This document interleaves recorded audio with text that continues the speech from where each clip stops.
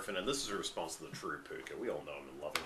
Uh, mate, before you start ranting about how it's one country and we've all got to do our part, think about this for a minute. Just go with me on the George Carlin train.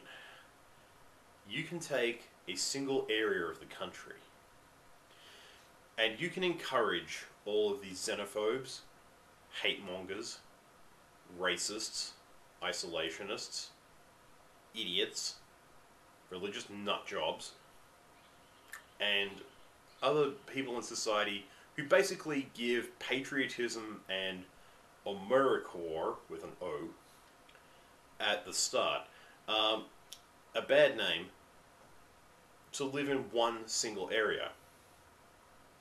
Then you offer them a monetary incentive, paid out in silver. Hell, they love that.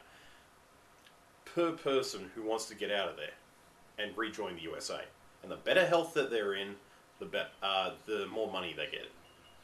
Remember, these people don't believe. A lot of these people don't believe in any form of uh, vaccination. Some of them don't even believe in any form of healthcare, uh, owing to the fact that they believe that God will heal them.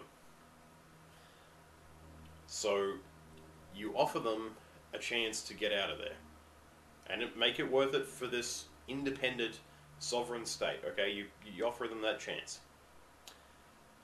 and after a generation, maybe two, there shouldn't be that many of them left. And then, okay, then you come in for what's left, make some stake stake claims, claim some ownership, and you can basically re- either reabsorb the place or pare it down to a couple of uh, quote landowners and their families unquote who can basi- basically be safely contained.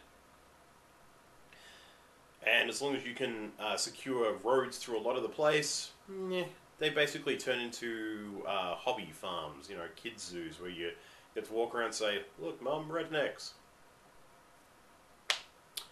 I'm just saying, mate. You see an outrage, I see an opportunity. Aussie Griffin, have a good one.